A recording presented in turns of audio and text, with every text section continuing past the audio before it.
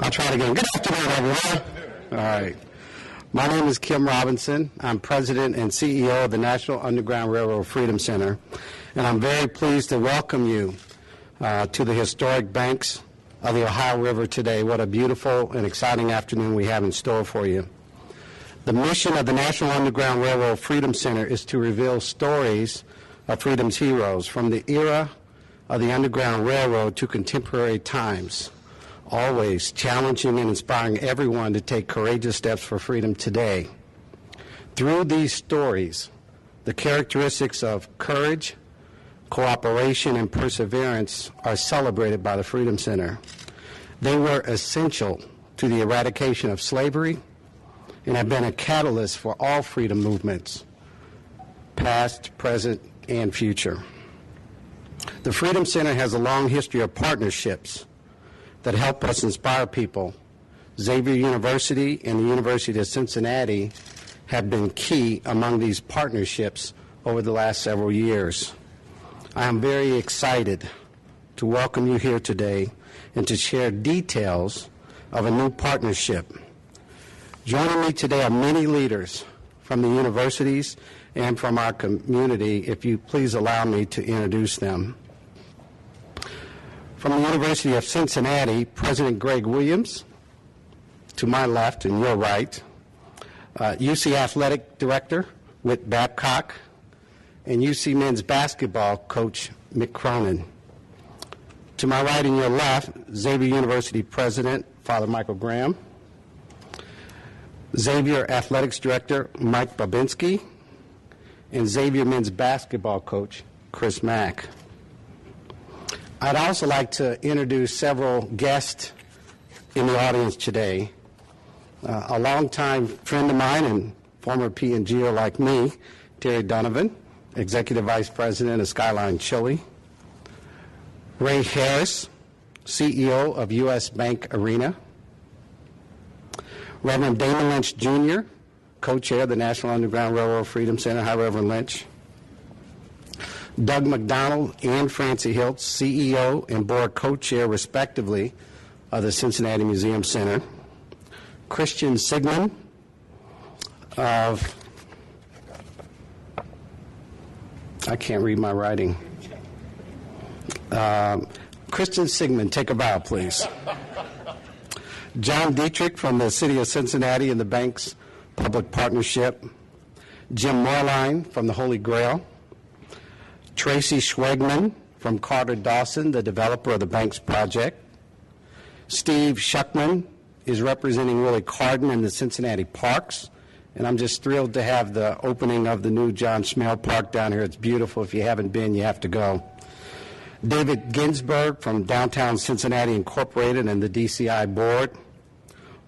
Mark Reitzes, President of Huntington Bank, Leslie Spencer, Executive Director of the Greater Cincinnati Sports Corporation, and any others that I may have missed. I'm sure there are others here that uh, certainly are deserving of being mentioned. To them, I apologize. Now it's my privilege to invite my friends to the podium, Xavier President Father Graham and UC President Williams for their important and exciting announcement.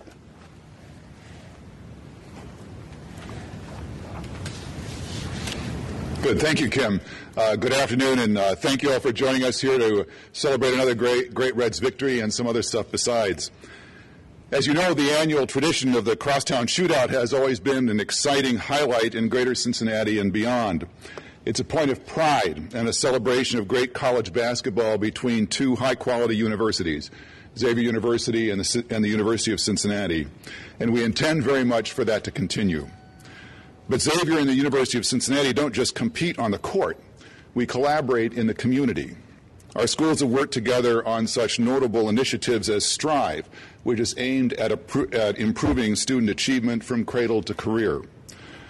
With that in mind, Dr. Williams and I are here today to announce not only a new name and other details about the game, but a new dimension as well to this competition based on our histories of collaboration and community engagement.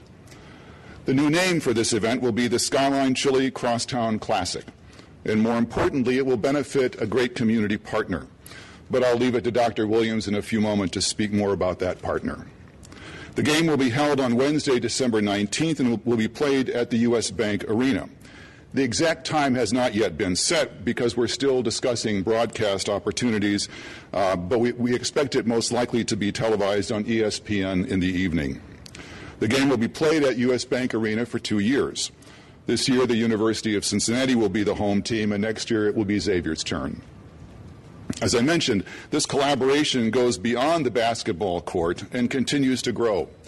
For example, our school's new provosts and chief academic officers have already been in conversation with one another about how the two schools might collaborate more fully in terms of academic programs and faculty life. Meanwhile, last spring, our student governments partnered to work with the Boys and Girls Club here in Greater Cincinnati together, and those student leaders are already talking about what they might do this coming year to build upon that. Welcoming a beneficiary and a, community partner of the Skyline Chili Crosstown Classic builds on this commitment of collaboration and celebrates the good things each of our schools does in the community, and especially those things that we do together. But I'll leave it to Dr. Williams to share that good news with you. Greg? Thank you, Father Graham. As Father Graham has mentioned, the University of Cincinnati and Xavier University have a long history of collaboration. And this is just the latest example of UC and Xavier working together. And we have a tremendous source of pride for both of our universities, our fans, alumni, our hometown of the city of Cincinnati. And Father Graham and I are really delighted about the prospects for this game with its new focus on the city, the exciting waterfront, and the values that both of our institutions share in common. As noted last week in the New York Times and a great article in the Cleveland Plain Dealer recently, Cincinnati has an exciting new renaissance underway, especially along the banks of the Ohio River. Playing our game at a neutral site at the waterfront supports this wonderful revival and brings it to a part of our city that is a brand new riverfront development that deserves to be celebrated and to be supported. Our universities wanted to find a way to remind everyone that we play this game in the spirit of mutual respect and celebration. We want to celebrate the values that we share in common, and we want to celebrate the city of Cincinnati. As Father Graham mentioned, we're adding a community partner that will benefit from our basketball competition. The tradition and addition of the National Underground Railroad Freedom Center as a beneficiary and as a partner in our rivalry game for the next two years not only fits in with our commitment to the Riverfront revival, it fits in with the values that both UC and XU share. Among them, respect, integrity, freedom, opportunity, community, scholarship, and excellence. In addition, we know that our universities also support and share the values that align to the Freedom Center and what it stands for courage, cooperation, and perseverance. The Freedom Center is a tremendous asset not only for this community, but in fact for our nation. It deserves our support and the support of the community, as well as visitors from across the nation and, in fact, around the world. And now Father Graham and I will officially unveil the new logo for the Skyline Chili Crosstown Classic.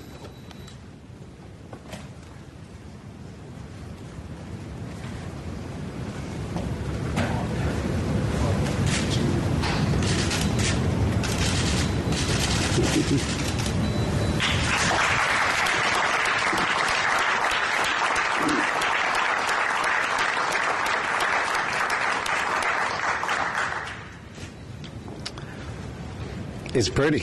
I like it. Uh, at this time, we're going to take questions from the audience. I wanted everyone to know that both the presidents and the coaches have to leave for other engagements.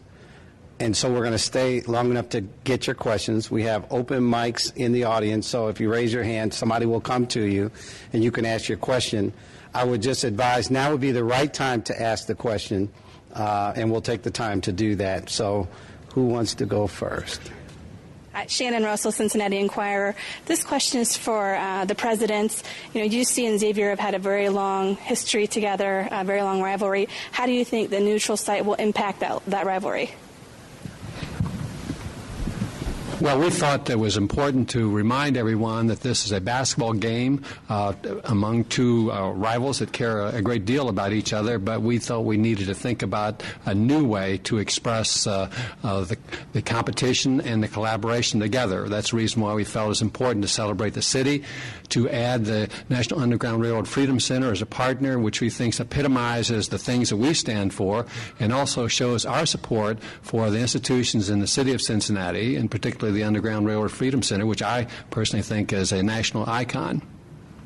Shannon, it occurs to me that if there's anything that Xavier and UC people are passionate about more than the game and more and, and, about more than their schools, it's the community itself. And so I'm looking forward to the way in which this sort of new reframing of the game and this new uh, point of departure uh, will allow all of Cincinnati to come together in a real moment of celebration about some things that are very important to us.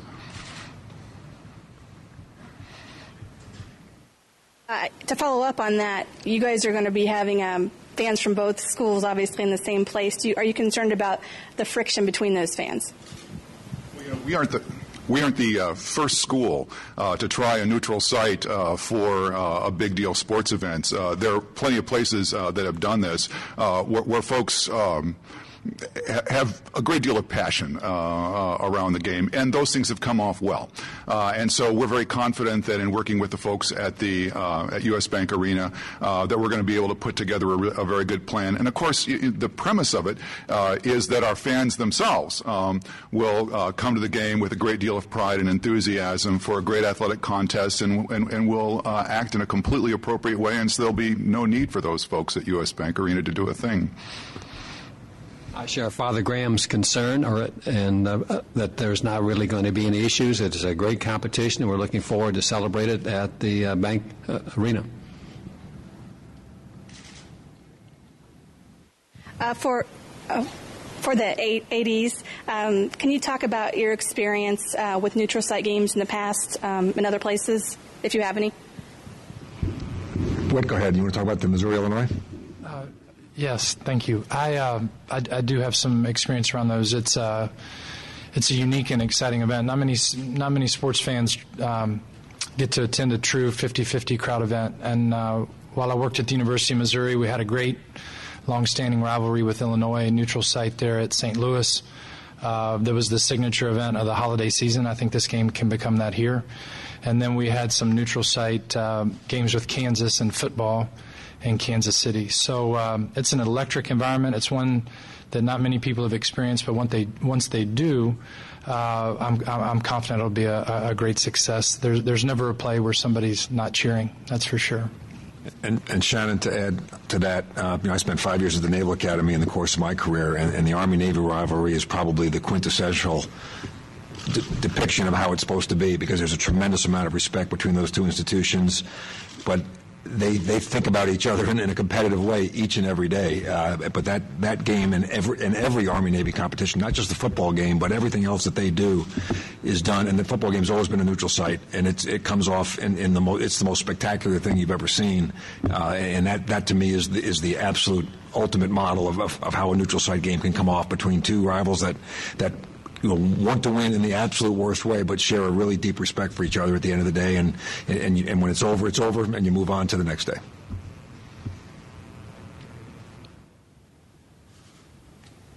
Why the two year trial period, and is there a long term commitment from both teams to continue to play this game for the ADs or the coaches? Around the game. Um, and we felt that this was the appropriate venue and place to do that, and we are going to be evaluating it on a year-to-year basis. We felt uh, make a appropriate commitment to have it down here for the next couple of years, uh, but obviously we will reevaluate on a year-to-year basis uh, to tr- try to create a new culture of the game and approach. Yes, exactly. That, that, we thought that rather than make a sort of once and for always, forever kind of commitment, what we want to do is, as uh, uh, President Williams said, is uh, shape uh, a new culture around the game um, and to uh, keep evaluating it and to see what we can do to improve it as we go forward. So um, I think our commitment is to the game um, and the stuff surrounding it. Well, we'll see how that goes. One more question for Coach Mack and Coach Cronin. How do you think your players will thrive on the neutral site, not necessarily having that home court advantage in previous years? Go ahead, Chris. Well, I think number one, the atmosphere um, is going to be one that if you're a player, how can you not want to play in that type of environment? You know, it's, uh, um, you know, Whit had mentioned the Missouri Illinois game, which is a game that I've watched. Uh, whether as a fan or as a college coach for a long time, and and boy, those teams really compete at a high level, um, and and it's a supercharged environment, and I think, um, you know, the, the, game itself has always been uh, a very hard fought, uh, a very um, uh, worthwhile game for the city, and whether the floor is over at U.S. Bank Arena, University of Cincinnati, or Xavier, uh, it's going to be a great game. And I think both teams will uh, really enjoy playing in the atmosphere. Two things. Uh, first of all, I think our guys love these games, so that's you know they don't care where we play it. To be real honest about it, I think from Chris and I, uh, the neutral site is great because we both hope to play in the NCAA tournament every March. So anytime you get a chance to play a big time game in a neutral site, uh, it's an advantage for your team. Uh, so and also US, we, have played games at US Bank Arena historically at, at UC. So um, we haven't lost down there in a while. So I was I was all for this. Although I think that, that's going to be put to the test now. We haven't lost there in a while either.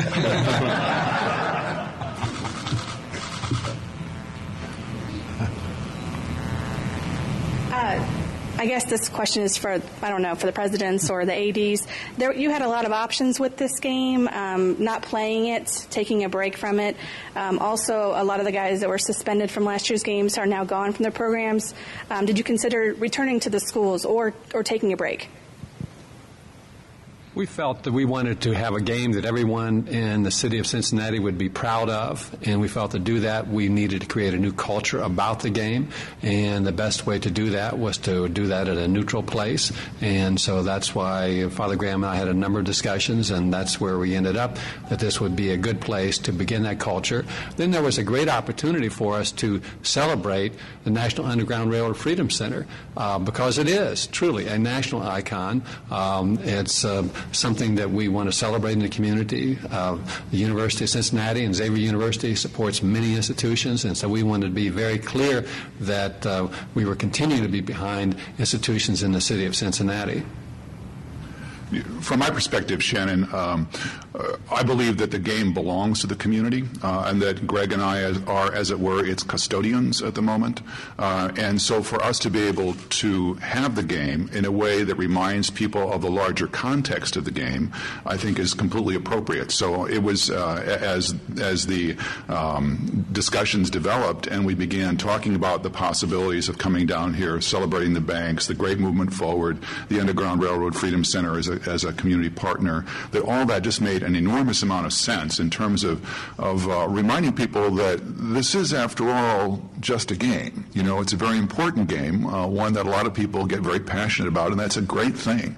Um, but there's much more that unites us than divides us, and let's keep a focus on that.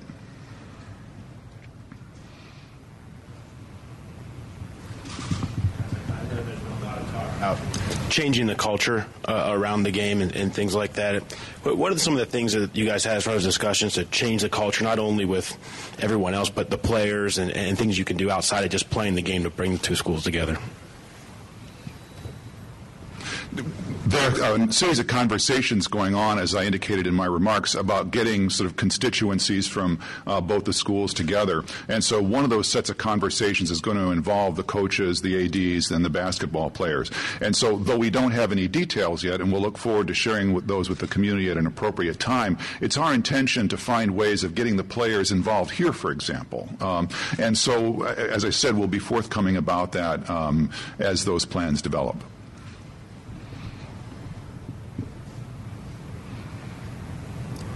I, am not sure who to direct this to, but it says in the press release that the the uh, ticket sales will be split between both schools, but a portion will go to uh, the Freedom Center. What percentage will go to the Freedom Center? Well, we haven't worked out the details exactly, but there's going to be a substantial portion that will go to the Freedom Center to express our desire to support the Freedom Center. Um, and we're looking forward to be a contributor to the Freedom Center and the types of things that they're doing here.